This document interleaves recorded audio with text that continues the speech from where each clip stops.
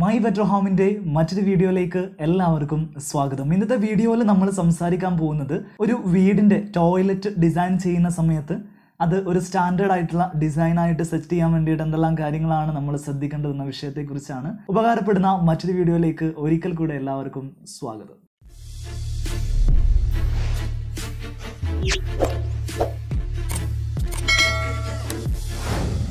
ഒരു നല്ല ടോയ്ലറ്റിനെ സംബന്ധിച്ചിടത്തോളം അതിനകത്ത് മൂന്ന് വ്യത്യസ്ത സോണുകൾ ഉണ്ടായിരിക്കണം എന്നാണ് പറയാറുള്ളത്. നമുക്ക് ബ്രഷ് ചെയ്യാനും മുഖം കഴുകാനും ഒക്കെ സൗകര്യപ്പെടുന്ന രീതിയിലുള്ള ഒരു വാഷ് കൗണ്ടർ അല്ലെങ്കിൽ വാനിറ്റി കൗണ്ടർ നമ്മുടെ പ്രാഥമിക ആവശ്യങ്ങൾ നിർവഹിക്കാൻ ആവശ്യമായിട്ടുള്ള ഒരു വാട്ടർ ക്ലോസറ്റ് അല്ലെങ്കിൽ ഇ ഡബ്ല്യു സി നമുക്ക് കുളിക്കാൻ ആവശ്യമായിട്ടുള്ള ഒരു ഷവർ ഏരിയ ഇങ്ങനെ മൂന്ന് തരം സോണുകളാണ് ഒരു ടോയ്ലറ്റിന്റെ അകത്ത്. നമ്മൾ നൽകേണ്ടത്. ഈ മൂന്ന് സോണുകളിലേക്കും ഈസി ആയിട്ട് നമുക്ക് ആക്സസ് ചെയ്യാൻ പറ്റുന്ന തരത്തിൽ ഒരു നല്ല ടോയ്ലറ്റ് നമ്മൾ ഡിസൈൻ ചെയ്യുമ്പോൾ അത്തരത്തിലുള്ള ഒരു ടോയ്ലറ്റിന് എത്ര സൈസ് നൽകണം എന്നുള്ള കാര്യമാണ് നമ്മൾ ആദ്യം തന്നെ പരിശോധിക്കാൻ പോകുന്നത്. നമ്മൾ ഒരു വീടിന്റെ പ്ലാൻ ചെയ്യുന്ന സമയത്ത് ബെഡ്റൂമിന്റെ പ്രൈവസി അതേപോലെ ഡ്രസ്സിംഗ് യൂണിറ്റിന്റെ സ്പേസ് ഇതെല്ലാം പരിഗണിക്കുന്ന സമയത്ത് ചിലപ്പോൾ നമ്മുടെ ടോയ്ലറ്റ് ലെങ്തി ആയിട്ടായിരിക്കും നമുക്ക് അവിടെ പ്ലേസ് ചെയ്യാൻ സാധിക്കുക. ചില സമയത്ത് നമുക്ക് ആവശ്യമായിട്ടുള്ള ലെങ്ത് ടോയ്ലറ്റിന് ലഭിച്ചെന്ന് വരില്ല. അപ്പോൾ നമ്മളൊരു സ്ക്വയർ ഷേപ്പിന് സമാനമായിട്ടുള്ള രീതിയിലാണ് ടോയ്ലറ്റുകൾ ഡിസൈൻ ചെയ്യുക. ഈ രണ്ട് രീതിയിൽ നമ്മൾ ഡിസൈൻ ചെയ്താലും നമുക്ക് ആവശ്യമായിട്ടുള്ള ഈ മൂന്ന് സോണുകളും എങ്ങനെ അത്തരത്തിലുള്ള ടോയ്ലറ്റുകളിൽ ഉൾപ്പെടുത്താൻ സാധിക്കും എന്നുള്ളതും ഒരു നല്ല ടോയ്ലറ്റിന് സ്റ്റാൻഡേർഡ് സൈസ് എത്ര ഉണ്ടായിരിക്കണം എന്നുള്ള കാര്യമാണ് നമ്മൾ ഇപ്പോൾ പരിശോധിക്കാൻ വേണ്ടി പോകുന്നത്. നിങ്ങൾ ആദ്യമായിട്ടാണ് ഈ ചാനൽ സന്ദർശിക്കുന്നതെങ്കിൽ ഇപ്പോൾ തന്നെ ഈ ചാനൽ സബ്സ്ക്രൈബ് ചെയ്ത് വെക്കുക. തൊട്ടടുത്തുള്ള ബെൽ ബട്ടൺ അമർത്തുകയാണെങ്കിൽ ഞാൻ വീഡിയോ അപ്ലോഡ് ചെയ്യുന്ന സമയത്ത് നിങ്ങൾക്ക് നോട്ടിഫിക്കേഷൻസ് ആയിട്ട് ലഭിക്കുന്നതായിരിക്കും. വീഡിയോ ഇഷ്ടപ്പെട്ടിട്ടുണ്ടെങ്കിൽ ലൈക്ക് ചെയ്യാൻ മറക്കരുത്. വളരെ ലെങ്തി ആയിട്ട് നമുക്ക് കിട്ടുന്ന രീതിയിലാണ് ടോയ്ലറ്റ് പ്ലാനിൽ വന്നിട്ടുള്ളതെങ്കിൽ നമ്മൾ അത്തരം ഒരു ടോയ്ലറ്റിന്റെ അകത്ത് ഇതേപോലെ ലീനിയർ ആയിട്ടായിരിക്കും ഈ മൂന്ന് സോണുകളും അറേഞ്ച് ചെയ്യുക. ഷവർ ഏരിയ നമ്മൾ കുളിക്കുന്ന സ്ഥലം എന്ന് പറയുന്നത് എല്ലായ്പ്പോഴും നനവ് പ്രതീക്ഷിക്കേണ്ട ഒരു സ്ഥലമാണ്. ഇതിനെ നമ്മൾ പ്രത്യേകം ഒരു വെറ്റ് ഏരിയ എന്ന് കണക്കിലെടുത്തുകൊണ്ട് തന്നെ ഒരു ഗ്ലാസ് സെപ്പറേഷനൊക്കെ ഉപയോഗിച്ചിട്ട് നമ്മൾ അതിനെ പാർട്ടീഷൻ ചെയ്ത് വെക്കാറുണ്ട്. അത്രയൊന്നും ബഡ്ജറ്റിലേക്ക് പോകാൻ നിങ്ങൾ ആഗ്രഹിക്കുന്നില്ലെങ്കിൽ ഈ വെറ്റേരിയന്റെ ലെവൽ ഗ്രൗണ്ടിൽ നിന്നും അല്പം താഴ്ത്തിയിട്ട് നമുക്ക് വെറ്റേരിയ സെപ്പറേറ്റ് ആയിട്ട് നിർത്താൻ സാധിക്കും. ജാഗോർ സെറ ജോൺസൺ തുടങ്ങിയിട്ടുള്ള സാനിറ്ററി വെയർ കമ്പനികൾ ഇത്തരത്തിലുള്ള ബാത്റൂം ഗ്ലാസ് പാർട്ടീഷൻസ് സ്റ്റാൻഡേർഡ് സൈസിലും കസ്റ്റമൈസ്ഡ് സൈസിലും ഒക്കെ മാർക്കറ്റിൽ ഇറക്കുന്നുണ്ട്. തൊണ്ണൂറ് സെന്റിമീറ്റർ ബൈ തൊണ്ണൂറ് സെന്റിമീറ്റർ നൂറ് സെന്റിമീറ്റർ ബൈ നൂറ് സെന്റിമീറ്റർ നൂറ് സെന്റിമീറ്റർ ബൈ നൂറ്റി ഇരുപത് സെന്റിമീറ്റർ തുടങ്ങിയ സൈസുകളിലാണ് സ്റ്റാൻഡേർഡായിട്ട് ഇത്തരത്തിലുള്ള ഗ്ലാസ് പാർട്ടീഷൻസ് നമുക്ക് വാങ്ങാൻ വേണ്ടിയിട്ട് കിട്ടുക. ഇനി അതല്ല കസ്റ്റമൈസ്ഡ് ആയിട്ടുള്ള ഗ്ലാസ് പാർട്ടീഷൻസും ചില കമ്പനികൾ ഓഫർ ചെയ്യുന്നുണ്ട്. അത്തരത്തിലുള്ള സിറ്റുവേഷൻസിൽ കമ്പനിയുടെ എക്സിക്യൂട്ടീവ്സ് നിങ്ങളുടെ സൈറ്റിൽ വന്ന് മെഷർമെന്റ് ചെയ്തതിന് ശേഷം ആവശ്യമായിട്ടുള്ള അളവുകളിൽ ഗ്ലാസ് പാർട്ടീഷൻസ് ചെയ്തു തരുന്നതാണ്. ഇരുപതിനായിരം രൂപ മുതൽ ഇരുപത്തി രൂപ വരെയാണ് ഇത്തരത്തിലുള്ള ഗ്ലാസ് പാർട്ടീഷൻസ് ഒരു ടോയ്ലറ്റിൽ നൽകാൻ വേണ്ടിയിട്ട് നമുക്ക് എക്സ്പെൻസ് വരിക. ഏതായാലും ഗ്ലാസ് പാർട്ടീഷൻസ് നമ്മൾ നൽകുന്നുണ്ടെങ്കിലും ഇല്ലെങ്കിലും ഷവർ ഏരിയക്ക് മിനിമം നമ്മൾ കാണേണ്ട സ്പേസ് എന്ന് പറയുന്നത് തൊണ്ണൂറ് സെന്റിമീറ്റർ നീളവും തൊണ്ണൂറ് സെന്റിമീറ്റർ വീതിയും കിട്ടുന്ന ഒരു ഏരിയ ആണ്. Three feet by three feet മൂന്നടി നീളവും മൂന്നടി വീതിയും എന്ന് നമുക്ക് പറയാൻ സാധിക്കും. സാധാരണ നിലയിലുള്ള ഒരു ക്ലോസറ്റിന്റെ വീതി എന്ന് പറയുന്നത് മുപ്പത്തി അഞ്ച് സെന്റിമീറ്റർ മുതൽ നാൽപ്പത്തി അഞ്ച് സെന്റിമീറ്റർ കൂടിയാണ്. ഇതിന്റെ കൂടെ നമ്മുടെ ഹെൽത്ത് ഫോസറ്റ് ഘടിപ്പിക്കാനും അത് നമുക്ക് ഉപയോഗിക്കാനൊക്കെയുള്ള ഒരു സുഗമമായ പ്രവർത്തനത്തിന് വേണ്ടിയിട്ട് നമുക്ക് ഏകദേശം ഒരു എഴുപത്തി അഞ്ച് സെന്റിമീറ്റർ മുതൽ തൊണ്ണൂറ് സെന്റിമീറ്റർ വരെ നമ്മുടെ വാട്ടർ ക്ലോസറ്റ് ഏരിയയിൽ നമുക്ക് സ്പേസ് ആവശ്യമായിട്ട് വരുന്നുണ്ട്. നല്ല രീതിയിൽ നമുക്കൊരു വാഷ് കൗണ്ടർ അവിടെ കൊടുക്കണമെങ്കിൽ അറുപത് സെന്റിമീറ്റർ മിനിമം നമുക്ക് നൽകേണ്ടതുണ്ട്.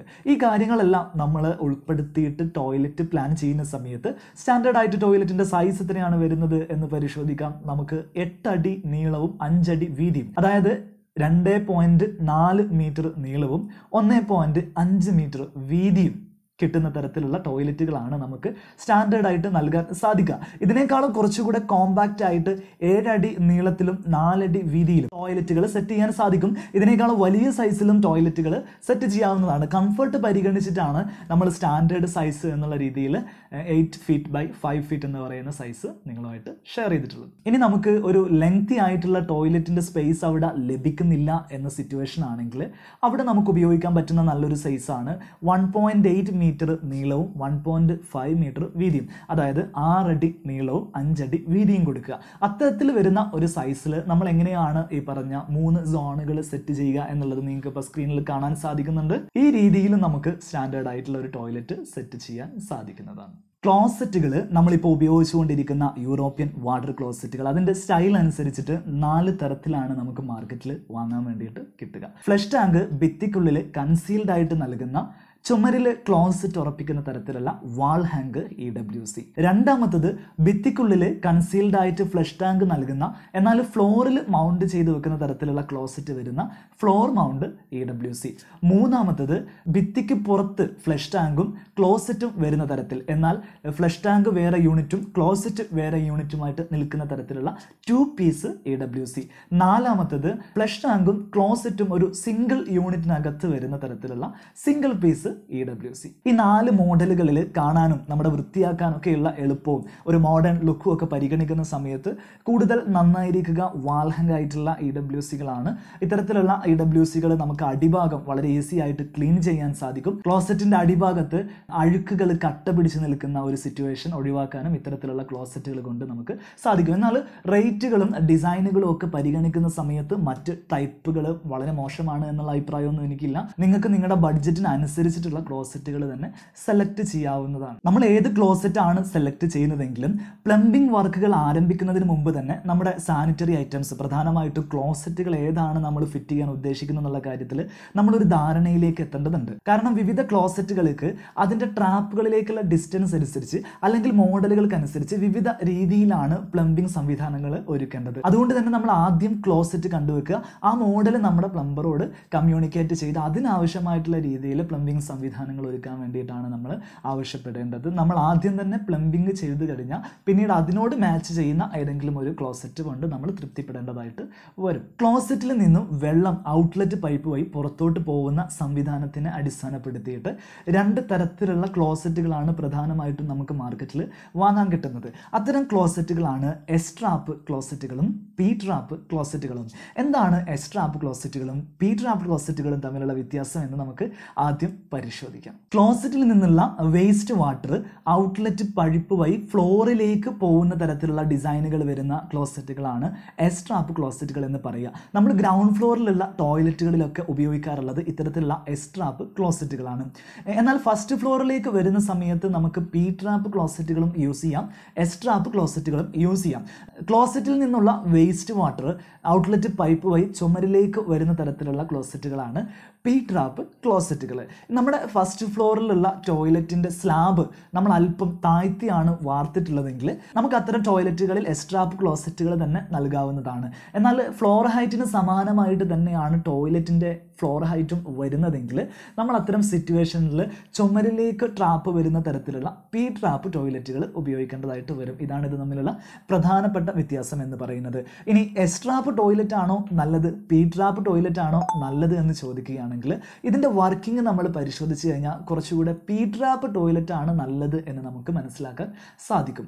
എന്തിനു വേണ്ടിയിട്ടാണ് നമ്മളിങ്ങനെ എസ് ട്രാപ്പ് ആയിട്ടും പി ട്രാപ്പ് ആയിട്ടും ഒക്കെ ടോയ്ലറ്റിന്റെ ഔട്ട്ലെറ്റ് പൈപ്പുകൾ വളച്ച് നൽകുന്നത് എന്ന് നോക്കാം. ടോയ്ലറ്റിൽ നിന്നുള്ള ബാഡ് സ്മെല്ലുകൾ വരാനുള്ള പ്രധാനപ്പെട്ട കാരണം എന്ന് പറയുന്നത് നമ്മുടെ വേസ്റ്റ് ലൈനിൽ നിന്ന് നമ്മുടെ വിസർജ്യങ്ങളിൽ നിന്ന് വമിക്കുന്ന ദുർഗന്ധം വഹിക്കുന്ന ഗ്യാസുകൾ നമ്മുടെ ക്ലോസറ്റ് വഴി ടോയ്ലറ്റിൽ എത്തുന്ന സമയത്താണ് ടോയ്ലറ്റിൽ ഒരു ദുർഗന്ധം അല്ലെങ്കിൽ ഒരു ബാഡ് സ്മെല്ല് ഉണ്ടാകുന്നത് ഈ ഒരു പ്രശ്നം പരിഹരിക്കാൻ വേണ്ടിയിട്ട് നമ്മൾ ഈ രീതിയിൽ പൈപ്പുകൾ വളച്ചു കൊടുത്തിട്ട് അതിലെപ്പോഴും വെള്ളം കെട്ടി നിൽക്കുന്ന രീതിയിൽ സംവിധാനിക്കുകയാണ് ചെയ്യുക. ഇങ്ങനെ വെള്ളം ഒരു മതിൽ പോലെ ഇവിടെ നിൽക്കുന്നത് കൊണ്ട് ഗ്യാസുകൾക്ക് ടോയ്ലറ്റിനകത്തേക്ക് വരാൻ സാധിക്കുന്നില്ല. ഇങ്ങനെയാണ് നമ്മൾ സ്മെല്ലിനെ പ്രതിരോധിക്കുന്നത്. എന്നാൽ നമ്മുടെ പ്ലംബിംഗ് ലൈനുകളിലെ പ്രഷർ വ്യത്യാസപ്പെടുന്ന ചില പ്രത്യേക സാഹചര്യങ്ങളിൽ നമ്മൾ ഫ്ലഷ് അടിക്കുന്ന സമയത്ത് ഈ ട്രാപ്പിലുള്ള വെള്ളം പൂർണമായിട്ട് പൈപ്പിലൂടെ വലിഞ്ഞു പോകാനുള്ള സാധ്യതയുണ്ട്. ഇത്തരം ഒരു സാധ്യത കൂടുതലായിട്ട് കാണപ്പെടുന്നത് എസ് ട്രാപ്പ് ക്ലോസറ്റുകളാണ് അതുകൊണ്ട് തന്നെ പ്ലംബർമാർ കൂടുതലായിട്ട് സജസ്റ്റ് ചെയ്യാറുള്ളത് നിങ്ങൾ പി ട്രാപ്പ് ക്ലോസറ്റുകൾ തന്നെ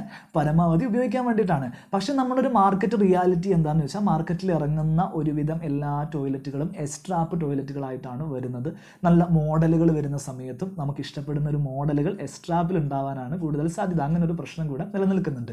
ഈ എസ് ട്രാപ്പ് ടോയ്ലറ്റുകളുടെ ഔട്ട്ലെറ്റ് ട്രാപ്പുകൾക്ക് നമ്മുടെ ഭിത്തിയിൽ നിന്നും എത്ര അകലം വരുന്നുണ്ട് എന്നതിന്റെ അടിസ്ഥാനത്തിൽ നാലിഞ്ച് ആറിഞ്ച് ഒമ്പത് ഇഞ്ച് പന്ത്രണ്ട് ഇഞ്ച് ഇങ്ങനെ വിവിധ തരത്തിലുള്ള ടൈപ്പുകളുണ്ട്. അതുകൊണ്ട് തന്നെ ഞാൻ നേരത്തെ പറഞ്ഞതുപോലെ നമ്മൾ ഏത് മോഡലാണോ സെലക്ട് ചെയ്യുന്നത് എന്ന് മനസ്സിലാക്കി അത് കൃത്യമായിട്ട് നമ്മുടെ പ്ലംബറോട് പറഞ്ഞു കൊടുത്താൽ മാത്രമേ അതിനനുസരിച്ചിട്ടുള്ള പ്ലംബിംഗ് പൈപ്പുകൾ സെറ്റ് ചെയ്യാൻ അദ്ദേഹത്തിന് സാധിക്കുകയുള്ളൂ എന്നുള്ള കാര്യം നിങ്ങൾ കൃത്യമായിട്ട് ഓർമ്മിക്കേണ്ടതുണ്ട്. ഇനി അതേപോലെ ഫ്ലഷ് ടാങ്കിൽ നിന്ന് നമ്മുടെ ക്ലോസറ്റിന്റെ അകത്തേക്ക് വെള്ളം ഫ്ലഷ് ചെയ്യുന്ന രീതിക്ക് അനുസരിച്ചിട്ട് വിവിധ തരത്തിലുള്ള ക്ലോസറ്റുകൾ വേറെയുമുണ്ട് റിമ്മിന്റെ അകത്ത് വിവിധ ദ്വാരങ്ങൾ ഉണ്ടാക്കിയിട്ട് ആ ദ്വാരങ്ങളിലൂടെ വെള്ളം താഴോട്ട് പ്രവഹിക്കുന്ന തരത്തിലുള്ള ക്ലോസറ്റുകളെ നമ്മൾ റിം ക്ലോസറ്റുകൾ എന്നാണ് പറയാറുള്ളത്.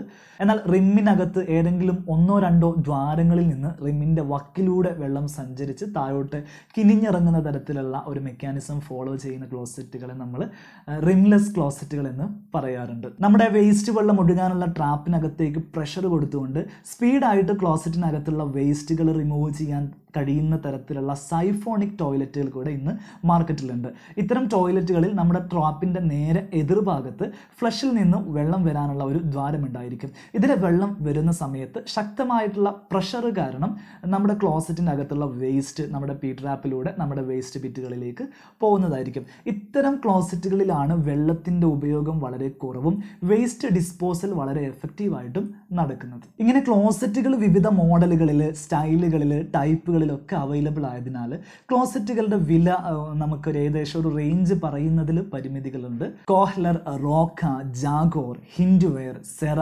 പാരിവെയർ തുടങ്ങിയിട്ടുള്ള കമ്പനികളാണ് ഇന്ന് മാർക്കറ്റിൽ ലീഡിംഗ് ആയിട്ട് നിൽക്കുന്ന സാനിറ്ററി വെയർ ബ്രാൻഡ് ടോയ്ലറ്റിന്റെ കാര്യത്തിൽ ഇനി ശ്രദ്ധിക്കേണ്ട പ്രധാന വിഷയം എന്ന് പറയുന്നത് ടോയ്ലറ്റിന്റെ ഡോറുകളാണ് ഡോറിന്റെ വീതി നമ്മൾ കൊടുക്കാറുള്ളത് സാധാരണ എഴുപത് സെന്റിമീറ്റർ എൺപത് സെന്റിമീറ്റർ ആ ഒരു വീതിയിലാണ്. എന്നാൽ നമ്മൾ ടോയ്ലറ്റുകൾ ഡിസൈൻ ചെയ്യുന്ന സമയത്ത് വീൽ ചെയറുകൾ അകത്ത് സുഖമായിട്ട് കിടക്കുന്ന തരത്തിലുള്ള ഡോർ സൈസ് നൽകുന്നതായിരിക്കും നന്നായിരിക്കുക. എൺപത് സെന്റിമീറ്ററിൽ കുറച്ച് ടോയ്ലറ്റിന്റെ ഡോർ സൈസുകൾ നൽകാത്തതാണ് നല്ലത്. ഏതെങ്കിലും പേരൻസിന് വേണ്ടി മാറ്റി വെക്കുന്ന ഏതെങ്കിലും ഒരു റൂമിന്റെ അകത്ത് തൊണ്ണൂറ് സെന്റിമീറ്റർ വീതിയുള്ള ഒരു ഡോറ് നൽകുന്നത് നന്നായിരിക്കും. കാരണം വിവിധ വെബ്സൈറ്റുകൾ പരിശോധിച്ചാൽ അറുപത്തി അഞ്ച് സെന്റിമീറ്റർ മുതൽ എൺപത്തി അഞ്ച് സെന്റിമീറ്റർ വരെ വീതി വരുന്ന വീൽ ചെയറുകൾ നമുക്കിന്ന് മാർക്കറ്റിൽ അവൈലബിൾ ആണ്. നമ്മുടെ ഭാവിയിലേക്ക് കൂടെ നമ്മളൊരു കൺസിഡറേഷൻ നൽകിക്കൊണ്ട് ഇത്തരത്തിലുള്ള ഏതെങ്കിലും ഒരു ടോയ്ലറ്റിന്റെ ഡോറിന്റെ വീതി തൊണ്ണൂറ് സെന്റിമീറ്ററിലേക്ക് വർദ്ധിപ്പിക്കുന്നത് നന്നായിരിക്കും. ഡോറുകളുടെ മെറ്റീരിയൽ അതിന്റെ ഡിസൈനൊക്കെ പരിശോധിക്കുന്ന സമയത്ത് നമുക്ക് വളരെ നല്ല രണ്ട് ഓപ്ഷനുകളാണ് യു പി വി സി ഡോറുകളും എഫ് ആർ പി ഡോറുകളും. ടോയ്ലറ്റ് ഡോറായിട്ട് നൽകാൻ കഴിയുന്ന യു പി വി സി ഡോറുകൾക്ക് സെവൻ തൗസൻഡ് മുതൽ ടെൻ തൗസൻഡ് വരെയാണ് റേറ്റ് വരുന്നത്. സെവൻ തൗസൻഡ് മുതൽ ഒരു നയൻ തൗസൻഡ് വരെ എഫ് ആർ പി ഡോറുകൾക്കും വില വരുന്നുണ്ട്. കുറച്ചുകൂടെ ബാത്റൂം ഡോറിന് ഒരു ക്ലാസിക് ലുക്ക് ലഭിക്കും എന്നുള്ളതാണ് ഇത്തരത്തിലുള്ള ഡോറുകൾ ഉപയോഗിക്കുന്നതിലൂടെ നമുക്ക് കിട്ടുന്ന മെച്ചം. വാട്ടർ റെസിസ്റ്റന്റ് ആണ് ഒരുപാട് കാലം ഈട് നിൽക്കുകയും ചെയ്യും. നിങ്ങൾ ഇത്രയും ബഡ്ജറ്റിലേക്കൊന്നും പോകാൻ ഉദ്ദേശിക്കുന്നില്ലെങ്കിൽ ഒരു ത്രീ തൗസൻഡ് റേഞ്ചിൽ നിങ്ങൾക്ക് പി വി സി ഡോറുകൾ തന്നെ ലഭിക്കും. അത്തരം ഡോറുകളിലെ ഡിസൈനുകൾ വളരെ ഒരു പ്രീമിയം ലുക്കിലേക്കൊക്കെ ലഭിക്കില്ല. നമുക്ക് കിട്ടുന്ന ഒരു ഡിസൈൻ ഉപയോഗിച്ചിട്ട് അഡ്ജസ്റ്റ് ചെയ്യാം എന്ന് മാത്രമേ ഉള്ളൂ. ടോയ്ലറ്റിൽ വാഷ് കൗണ്ടർ നൽകുന്ന സമയത്ത് അത്യാവശ്യം ഒരു സ്റ്റോറേജ് സ്പേസ് ഉള്ള വാഷ് കൗണ്ടർ നൽകാൻ ശ്രദ്ധിക്കുന്നത് നല്ലതാണ്. മിറർ യൂണിറ്റിന്റെ പുറകിൽ മിറർ ലൈറ്റ് നൽകാൻ സാധിക്കുന്ന തരത്തിൽ ഒരു പോയിന്റ് നമ്മൾ വയറിങ് ചെയ്യുന്ന സമയത്ത് ഇട്ട് വെക്കുന്നത് നല്ലതാണ്. ഭാവി കൺസിഡർ ചെയ്തുകൊണ്ട് വാട്ടർ ഹീറ്ററിന് വേണ്ടിയിട്ടുള്ള ഒരു പോയിന്റും ടോയ്ലറ്റുകളിൽ ഇട്ട് വെക്കുന്നത് നന്നായിരിക്കും. നമ്മൾ വീഡിയോ വൈൻഡപ്പ് ചെയ്യാണ് ടോയ്ലറ്റ് ആക്സസറീസ് ആയിട്ടുള്ള towel rack brush holder soap dish wall mixer diverter shower hand shower faucet ഇത്തരത്തിലുള്ള ബാത്റൂം ആക്സസറീസിന്റെ വിവിധ ഡിസൈനുകളും റേറ്റുകളും ബ്രാൻഡുകളെ കുറിച്ചൊക്കെ നിങ്ങൾക്ക് കൂടുതലായിട്ട് അറിയണമെന്നുണ്ടെങ്കിൽ ഈ വീഡിയോക്ക് താഴെ നിങ്ങളത് കമന്റ് ചെയ്യുക. നിങ്ങൾ ആവശ്യപ്പെടുന്നുണ്ടെങ്കിൽ അത്തരത്തിലുള്ള വീഡിയോ ഉടനെ നമ്മൾ ചെയ്യുന്നതായിരിക്കും. വീഡിയോ ഇഷ്ടപ്പെട്ടിട്ടുണ്ടെങ്കിൽ ലൈക്ക് ചെയ്യുക. നിങ്ങളുടെ അഭിപ്രായങ്ങൾ നിർദ്ദേശങ്ങളെല്ലാം തന്നെ കമന്റ് ചെയ്യുക. മറ്റൊരു വീഡിയോയിൽ കാണാം. അതുവരെ ബൈ